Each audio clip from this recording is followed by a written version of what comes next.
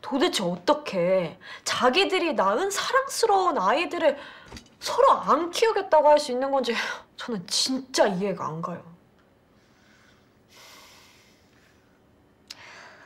한편 애 키우는 게 어떤 건지 잘 모르지?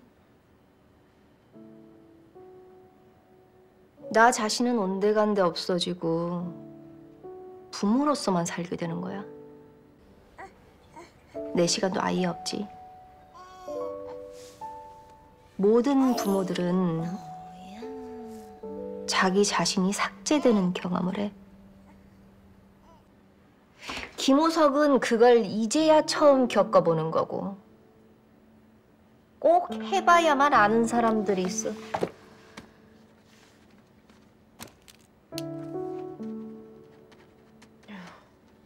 아무리 그래도 아이들을 협상의 도구로 사용한다는 게. 누가 아이를 도구로 사용해? 아이에게는 그동안 자주 보지 못한 아빠와 애착을 쌓아가는 좋은 기회라고 생각하는 게 어때? 알겠습니다.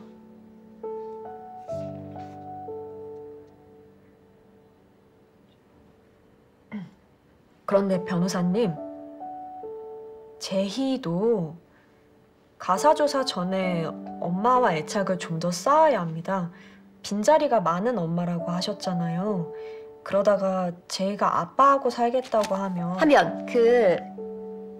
그... 피고 부모님이 어떤 사람들인지 원고한테 전화해서 좀 더 알아봐. 네.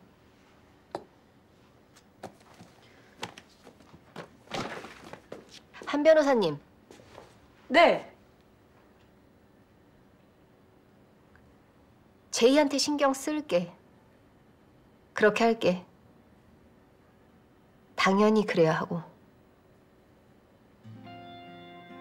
네.